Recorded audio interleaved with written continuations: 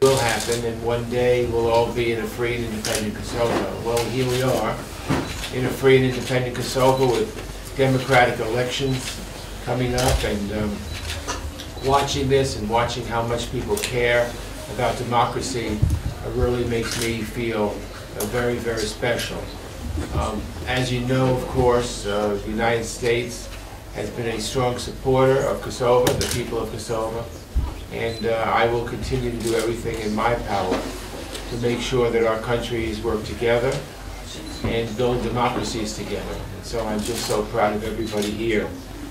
Um, I want to thank you, I want to commend you for all the work you're doing to increase the integrity of elections in Kosovo and strengthen the country's elections institution.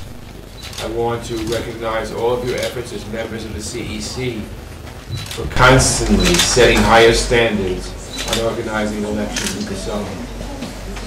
I have also visited Democracy in Action observers and was pleased to see eager, young, well-trained observers who are thrilled to monitor mayoral runoffs.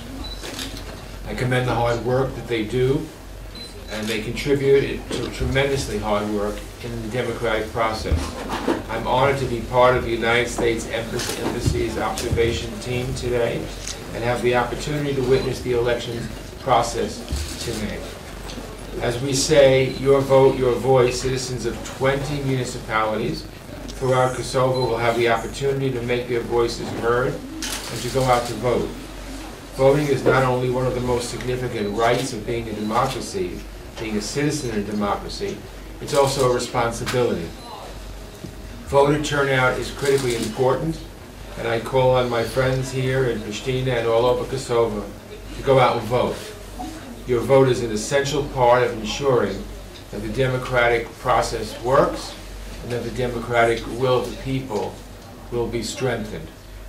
The United States cares deeply about Kosovo's elections, and we care deeply that Kosovo's elections are fair, credible, and entirely devoid of any kind of political violence or intimidation. I'm confident that you will deliver another round of free and fair elections, as you did in October and June as well. So once again, I commend you for your professionalism. You are doing a great service to your country, and I just want to assure you that you can always count on my support. I'm proud of the partnership that Kosovo and the United States have developed, and I will always be a friend of Kosovo. I was here before independence. I'm delighted to be here watching independence and watching a nation grow with freedom and liberty and democracy. So it's just such an honor and a pleasure for me to be here in Kosovo. I know you're going to have great elections, and that's what being part of a free people and democracy is all about. So thank you for all you're doing, and we will continue to stand by the people of Kosovo. Thank you. E falenderoj Zotin Engel për përkrahjen që ne ka dhënë vazhdimisht, sikur edhe Shtetet e Bashkuara të Amerikës.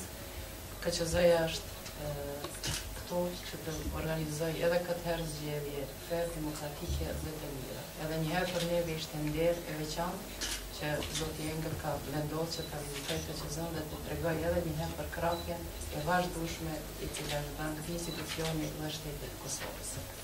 Thank you. Thank you. Thank you. Thank you for your support. Always have my support. Thank It you. was a pleasure. Thank you, everybody.